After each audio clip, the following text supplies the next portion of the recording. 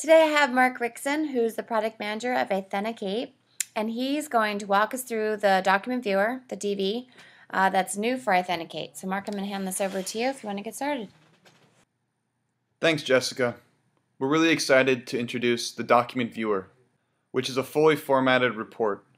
Now that the document viewer has been released, when you click to open up a report, the report will default to the text-only report, but you will see that there is a Document Viewer beta button, and you will click on this to access the Document Viewer. As you can see, it, the document is in its original format containing columns, images, tables, and is a great improvement over the text-only report. I would like to cover some of the new features.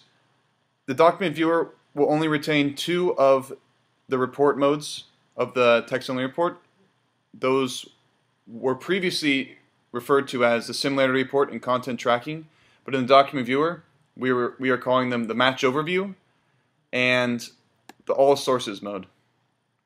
And you can access these by the report mode icons up here. The match overview shows what our system deems are the best matches to the document. A great new feature within the match overview is the match breakdown mode which you can access by hovering over a source in the, in the, source list and clicking on the arrow icon. Match Overview shows all of the underlying sources that match the same text as the top match, shown in the Match Overview. You can exclude sources from the Match Breakdown mode or from the All Sources mode.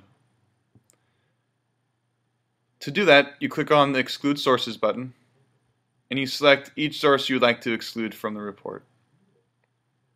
Click the Exclude button, and those sources are now excluded.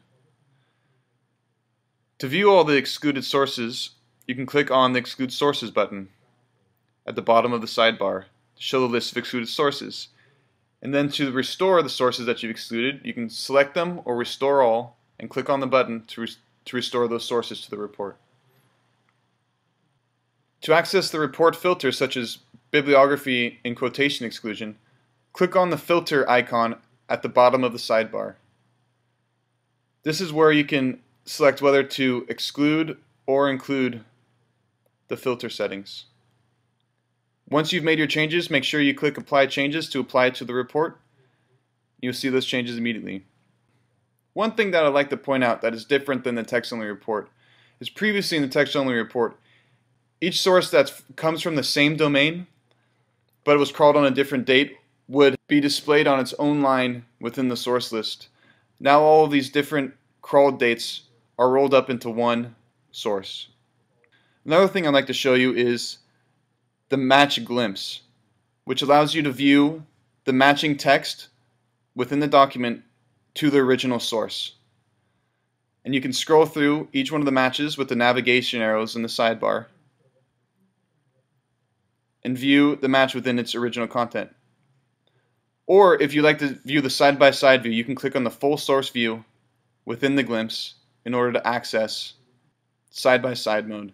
And you can also scroll through each one of the matches to the original source. To return to the text-only mode, you click on the text-only report at the bottom right of the document viewer window. I would like to note that when you open up a report, the last report viewing mode will be displayed. For example, if I viewed the document viewer, close out of the report and viewed another report, that report would open in the document viewer, and likewise with the text-only report.